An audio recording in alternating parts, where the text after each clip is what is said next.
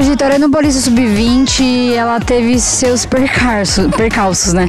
Eu acredito que a gente começou um Paulista Sub-20 desligado, com baixa tensão em diversos jogos. Então elas, elas não fizeram o que foi proposto, o elenco todo. Então a gente com, começa bem mal, assim, avaliando. Quando a gente chega na última rodada, a gente dá uma acordada. A classificação na última rodada representou que é ser guerreira grenar, né? Então a gente resgatou esse espírito ali na pré-eleção, no vestiário, nos treinos. É, a gente mesmo se enroscou, né? Então eu falo pra elas, poxa, a gente também tem que conseguir sair. Bom, realmente foi uma virada de chave. É, a gente sabia que seria importante esse resultado para a gente conseguir a classificação.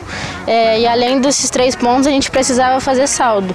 Então a gente ajustou algumas coisas, conseguimos colocar em prática e fizemos um bom jogo. Saímos com a vitória e garantimos a classificação. Um ponto positivo, eu posso falar que a gente retornou. Esse é o ponto positivo que eu, que eu levo dessas, dessas rodadas, né?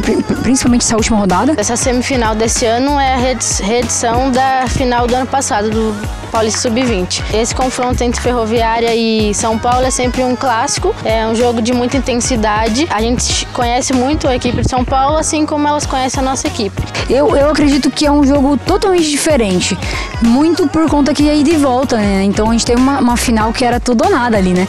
Dentro daquele jogo. Era a única, uma sensação, adrenalina com certeza diferente, não é 180 minutos. E trazer também essa, essa relação de jogar em casa, né? Então é, isso é muito bom pra gente, pras meninas.